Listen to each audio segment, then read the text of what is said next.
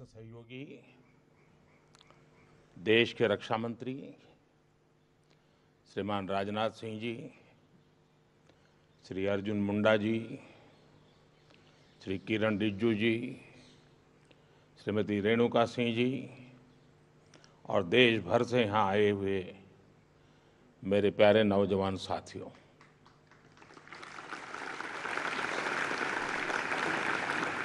Corona ने वाकई बहुत कुछ बदल कर रख दिया है। मास्क, कोरोना टेस्ट, दो गज की दूरी, ये सब अब ऐसा लग रहा है जैसे रोज़मर्रा की ज़िंदगी का हिस्सा बन गया है। पहले जब फ़ोटो निकालने जाते थे तो कैमरामैन कहता था, स्माइल। अब मास्क के कारण वो भी बोलता नहीं है।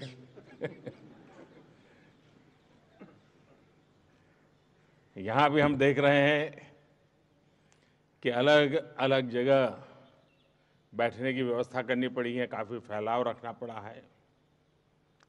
लेकिन इसके बावजूद भी आपका उत्साह, आपकी उमंग, उसमें कोई कमी नज़र नहीं आ रही है।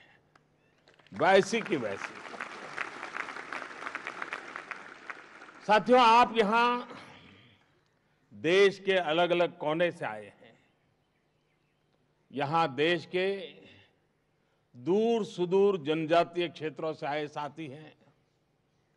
एनसीसी, एनएसएस के ऊर्जावान युवा भी हैं और राजपथ पर अलग अलग राज्यों की झांकी अलग अलग राज्यों का संदेश बाकी देश तक पहुँचाने वाले कलाकार साथी भी हैं। राजपथ पर जब आप जोश के साथ कदम ताल करते हैं तो हर देशवासी जोश से भर जाता है। जब आप भारत की समृद्ध कला, संस्कृति, परंपरा और विरासत की झांकी दिखाते हैं। तो हर देशवासी का माथा गौरव से और ऊँचा जाता है। और मैंने तो देखा है कि परेड के समय मेरे बगल में कोई न कोई देश के प्रमुख रहते हैं। इतनी सारी चीज़ें देख करके उनको बड़ा सरप्राइज़ होता है। बहुत सारे सवाल पूछते रहते हैं। जानने का प्रयास करते हैं देश के किस कोने में है, क्या है, कैसा है। जब हमारे आदिवासी साथी राजपथ पर संस्कृति के रंग बिखेरते हैं तो संपूर्ण भारत उन रंगों में रंग जाता है, जूम उठता है। गणतंत्र दिवस की परेड, भारत की महान सामाजिक, सांस्कृतिक विरासत के साथ ही हमारे सामरिक सामर्थ्य को भी नमन करती गणतंत्र दिवस की परेड, दुनिया के सबसे बड़े लोकतंत्र को जीवंत करने वाले हमारे संविधान को नमन करती है। मैं आपको 26 जनवरी को बेहतरीन प्रदर्शन के लिए बहुत बहुत शुभकामनाएँ देता हूँ। आपसे एक आग्रह भी है अभी दिल्ली में ठीक ठाक ठंड पड़ रही है। जो साउथ से आए होंगे, उनको तो परेशानी और होती होगी। और आप कई दिन से यहाँ हैं, लेकिन आप में से बहुत से लोग, जैसा मैंने कहा, सर्दी के आदि नहीं है।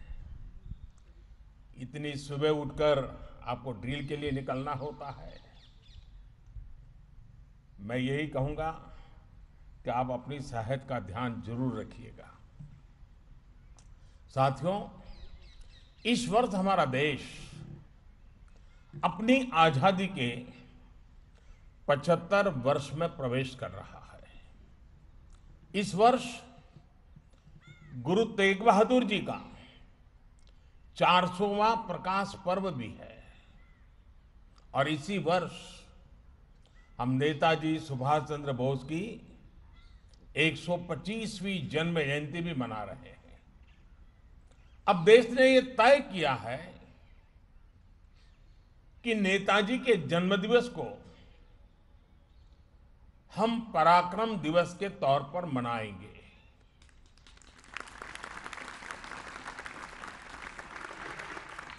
कल पराक्रम दिवस पर मैं उनकी कर्मभूमि कोलकाता में ही था। आज़ादी के 75 वर्ष, गुरु तेग बहादुर जी का जीवन, नेताजी का शौर्य, उनका हौसला, ये सब कुछ हम सभी के लिए बहुत बड़ी प्रेरणा है। हमें देश की आज़ादी के लिए अपना सर्वस्व न्यौछावर करने का अवसर नहीं मिला। क्योंकि हम में से अधिकतम लोग आज़ादी के बाद पैदा हुए हैं। लेकिन सर्वस्व न्योछावर करने का मौका नहीं मिला। लेकिन हमें देश ने अपना सर्वश्रेष्ठ अर्पित करने का अवसर ज़रूर दिया है। हम जो भी देश के लिए अच्छा कर सकते हैं भारत को मज़बूत बनाने के लिए कर सकते हैं तो हमें करते ही रहना चाहिए। साथियों, ये गणतंत्र दिवस की परेड की तैयारियों के दौरान आपने भी महसूस किया होगा कि हमारा देश कितनी विविधता से भरा हुआ है। अनेकों भाषाएँ, अनेकों बोलियाँ अलग अलग खान पान कितना कुछ अलग है, लेकिन भारत एक है।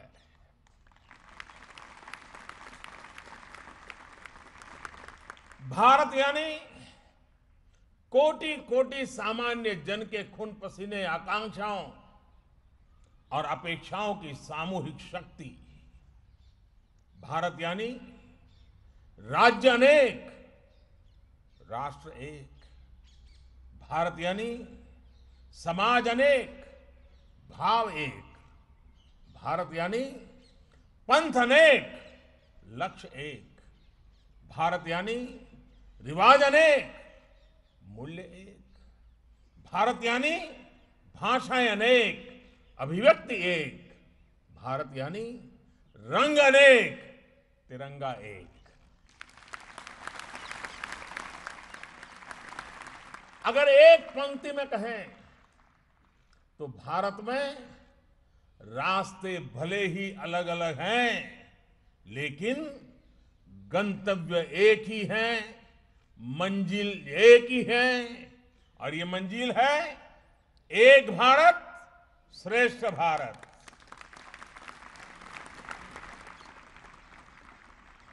साथियों, आज एक भारत श्रेष्ठ भारत की यह शाश्वत भावना देश के हर कोने में प्रकट हो रही है, मज़बूत हो रही है। आपने भी देखा और सुना भी होगा कि मिजोरम की चार साल की बालिका, उसने वंदे मातरम जब गाया तो सुनने वाले को गर्व से भर देता है। केरल के स्कूल की एक बच्ची जब कठिन परिश्रम से सीखकर एक हिमाचली गीत बड़े परफेक्शन के साथ गाती है तो रास की ताकत महसूस होती है। तेलुगु बोलने वाली एक बिटिया जब अपने स्कूल प्रोजेक्ट में बड़े रोचक ढंग से हरियाणवी खान पान का परिचय देती है तो हमें भारत की श्रेष्ठता के दर्शन होते हैं। साथियों, भारत की इसी ताकत से देश और दुनिया को परिचित करने के लिए एक भारत श्रेष्ठ भारत एक पोर्टल बनाया गया है। और आप तब तो डिजिटल जनरेशन वाले हैं तो ज़रूर वहाँ ज़रूर जाइएगा। इस पोर्टल पर एक भारत श्रेष्ठ भारत जो पोर्टल बनाया है उस पर जो व्यंजन विधियों का सेक्शन है, उस पर एक हज़ार से भी अधिक लोगों ने अपने प्रदेश के व्यंजन साझा किए हैं। कभी समय निकालकर आप इस पोर्टल पर को ज़रूर देखिएगा और परिवार में भी कहिए, जरा आज माँ बताओ ये। आपको बहुत आनंद आएगा। साथियों, बीते दिनों कोरोना काल में स्कूल, कॉलेज आदि बंद होने पर भी देश के युवाओं ने डिजिटल माध्यम से अन्य राज्यों के साथ वेबिनार किए हैं। इन वेबिनार्स में म्यूज़िक, डांस खान पान की अलग अलग राज्यों की अलग अलग शैलियों पर बड़ी विशद चर्चाएँ की है। आज सरकार की भी कोशिश है कि हर प्रांत, हर क्षेत्र की भाषाएँ खान पान और कला का पूरे देश में प्रचार प्रसार हो। देश में भारत के हर राज्य के रहन सहन, तीज त्योहार के बारे में जागरूकता और बढ़े। विशेष तौर पर हमारी समृद्ध आदिवासी परंपराओं, आर्ट एंड क्राफ्ट से बेहतर देश बहुत कुछ सीख सकता है। इन सबको आगे बढ़ाने में एक भारत श्रेष्ठ भारत अभियान बहुत मदद कर रहा है। साथियों, आजकल आपने सुना होगा, देश में बहुत बोला जाता है, सब दूर सुनाई देता है वोकल फॉर लोकल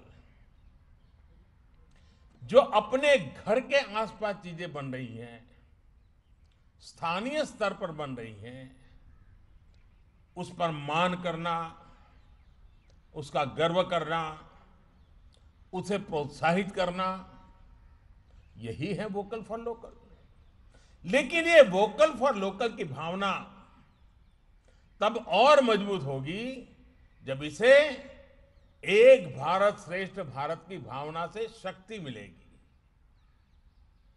हरियाणा की किसी चीज़ की संबंध में, मैं तमिलनाडु में रहता हूँ, मुझे गर्व होना चाहिए। केरल की किसी चीज़ का मैं हिमाचल में रहता हूँ, मुझे गर्व होना चाहिए।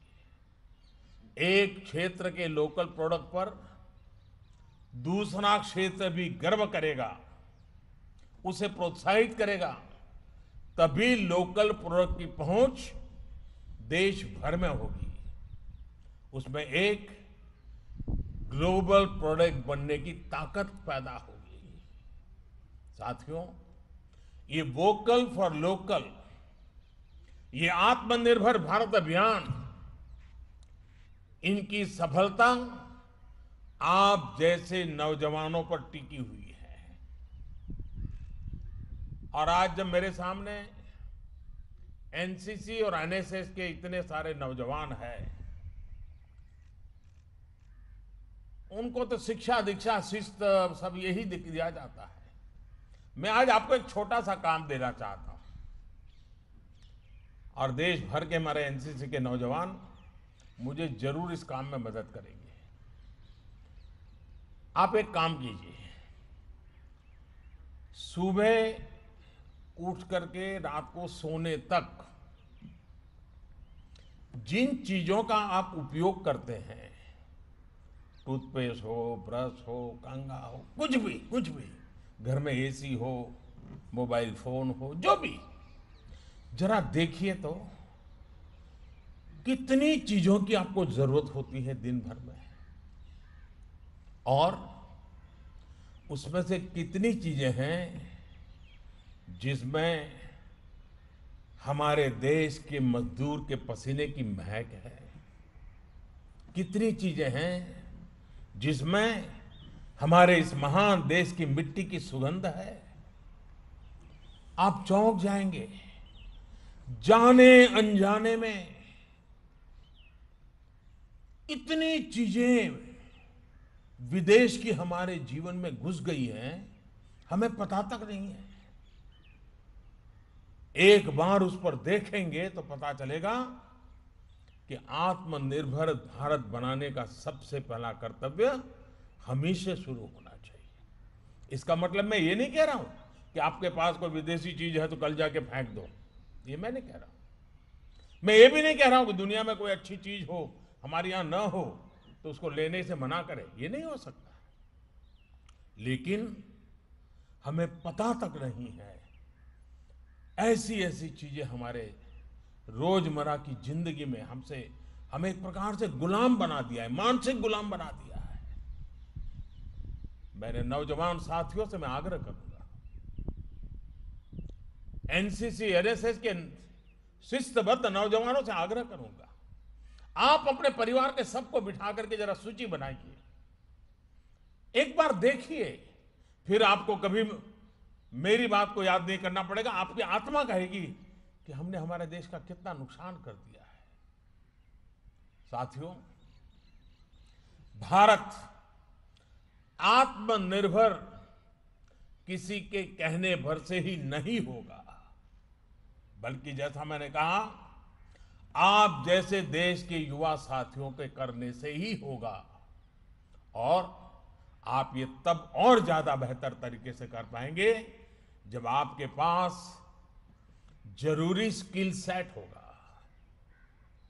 साथियों, स्किल के कौशल के इसी महत्व को देखते हुए ही 2014 में सरकार बनते ही स्किल डेवलपमेंट के लिए विशेष मंत्रालय बनाया गया।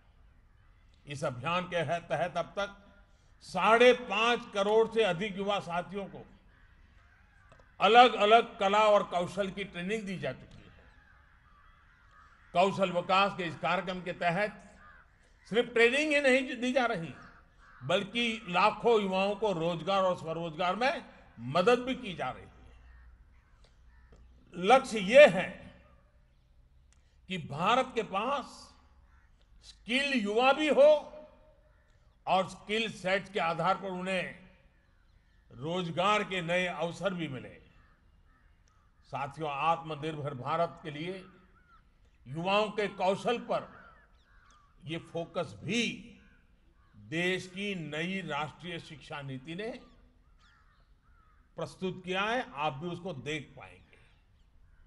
इसमें पढ़ाई के साथ साथ ही पढ़ाई के उपयोग यानी एप्लीकेशन पर भी उतना ही बल दिया गया है। राष्ट्रीय शिक्षा नीति की कोशिश ये है कि युवाओं को उनकी रुचि के अनुसार विषय चुनने की आज़ादी दी गई है। उनको कब पढ़ाई करनी है, कब पढ़ाई छोड़नी है और कब फिर से करनी है, इसके लिए भी फ्लेक्सिबिलिटी दी गई है। कोशिश यही है कि हमारे विद्यार्थी जो कुछ खुद से करना चाहते हैं, वो उसी में आगे बढ़े। साथियों, नई राष्ट्रीय शिक्षा नीति में पहली बार वोकेशनल एजुकेशन को एजुकेशन की मुख्य धारा में लाने का गंभीर प्रयास किया गया। कक्षा छह से ही विद्यार्थियों को स्थानीय जरूरतों और स्थानीय व्यवसायों से जुड़ा अपनी रुचि का कोई भी कोर्स चुनने का विकल्प दिया गया है। ये सिर्फ़ पढ़ाने के कोर्स नहीं होंगे, बल्कि सीखने और सिखाने के कोर्स होंगे। इसमें स्थानीय कुशल कारीगरों के साथ प्रैक्टिकल अनुभव भी दिया जाएगा। इसके बाद चरणबद्ध तरीके से सभी मेडिकल स्कूलों के शैक्षणिक विषयों में व्यवसायिक शिक्षा को एकीकृत करने का भी लक्ष्य है। मैं आज आपको ये विस्तार से इसलिए भी बता रहा हूँ क्योंकि आप जितना जागरूक होंगे, उतना ही आपका भविष्य भी उज्जवल होगा। साथियों, आप सभी ही आत्मनिर्भर भारत अभियान के असली कर्णधार है। एनसीसी हो, एनएसएस हो, या फिर दूसरे संगठन हो, आपने देश के सामने आने वाली हर चुनौती, हर संकट के समय अपनी भूमिका निभाई है। कोरोना काल में भी आपने जो काम किया वॉलेंटियर्स के रूप में, उसकी जितनी प्रशंसा की जाए वो कम है। जब देश को, शासन प्रशासन को सबसे अधिक ज़रूरत थी। तब आपने वॉलेंटियर्स के रूप में आगे आकर व्यवस्थाएँ बनाने में मदद की। आरोग्य सेतु ऐप को जन जन तक पहुंचाना हो, या फिर कोरोना संक्रमण से जुड़ी दूसरी जानकारियों को लेकर जागरूकता। आपने प्रशंसनीय काम किया। है कोरोना के इस काल में फिट इंडिया अभियान के माध्यम से फिटनेस के प्रति अवेयरनेस जगाने का आपका रोल महत्वपूर्ण रहा है। साथियों, जो आपने अभी तक किया, उसको अब अगले चरण पर ले जाने का समय आ गया है। और मैं ये आपसे इसलिए कह रहा हूँ, क्योंकि आपकी पहुँच देश के हर हिस्से, हर समाज तक है। मेरा आपसे आग्रह है कि आपको देश में चल रहे कोरोना वैक्सीन अभियान में भी देश की मदद करने के लिए आगे आना है। आपको वैक्सीन को लेकर सही जानकारियाँ देश के गरीब से गरीब और सामान्य से सामान्य नागरिक को देनी है। कोरोना की वैक्सीन भारत में बनाकर भारत के वैज्ञानिकों ने अपना कर्तव्य बखूबी निभाया है। अब हमें अपना कर्तव्य निभाना है। झूठ और अफवाह फैलाने वाले हर तंत्र को हमें सही जानकारी से परास्त करना है। हमें याद रखना है कि हमारा गणतंत्र इसलिए मज़बूत है क्योंकि ये कर्तव्य की भावना से संकल्पित है। इसी भावना को हमें मज़बूत करना है। इसी से हमारा गणतंत्र भी मज़बूत होगा और आत्मनिर्भरता का हमारा संकल्प भी सिद्ध होगा। आप सभी को इस महत्वपूर्ण राष्ट्रीय पर्व में शरीक होने का अवसर मिला। है मन को घड़ने का, देश को जानने का, और देश के लिए कुछ न कुछ करने का, इससे बड़ा संस्कार कोई और नहीं हो सकता है, जो सौभाग्य आप सबको प्राप्त हुआ है। मुझे विश्वास है कि 26 जनवरी के इस भव्य समारोह के बाद जब यहाँ से घर लौटेंगे तो आप यहाँ की अनेक चीज़ों को याद रख करके जाएँगे, लेकिन साथ साथ ये कभी नहीं भूलना कि हमें देश को अपना सर्वश्रेष्ठ अर्पित करना ही है, करना ही है, करना ही है। मेरी आप सबको बहुत बहुत शुभकामनाएँ बहुत बहुत धन्यवाद। लेटेस्ट अपडेट और खबरों के लिए टीवी वन इंडिया को सब्सक्राइब करें और नोटिफिकेशन पाने के लिए बेल आइकॉन को दबाना मत भूलें।